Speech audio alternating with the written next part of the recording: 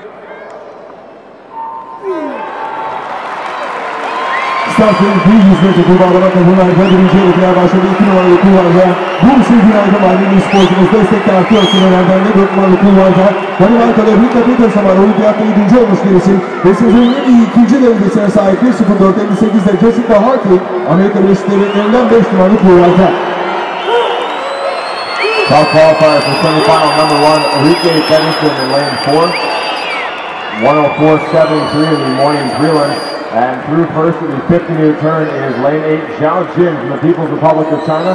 Jennie Johansson from Sweden second, and Pedersen is third from lane four.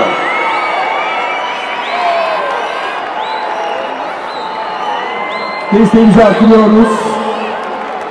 Bu sevgili aydın için Final 10 meters now in our first of two semifinals.